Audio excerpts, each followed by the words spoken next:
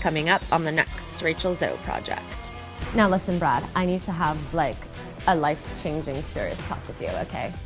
I need you to do the most important job in all of Camp Zoe. Oh my god, okay. I need you to get my Starbucks for me. Oh my god. I know. Is this not like the most surreal experience of your entire life? I'm dying. Now, Brad, you cannot do what you did last time. We all know what happened the last time you got my coffee for me.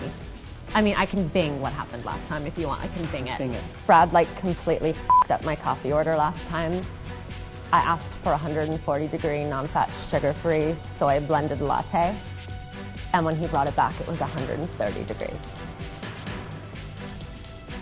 I was on the verge of a complete breakdown. Brad, you look like an Oompa Loompa when you cry like that. Your face gets red like a fire extinguisher. okay, Brad, you can stop crying now. No, I can't. Brad, you can stop. No, I can't. Brad, I seriously, can't. you need to stop. I really can't. I can't.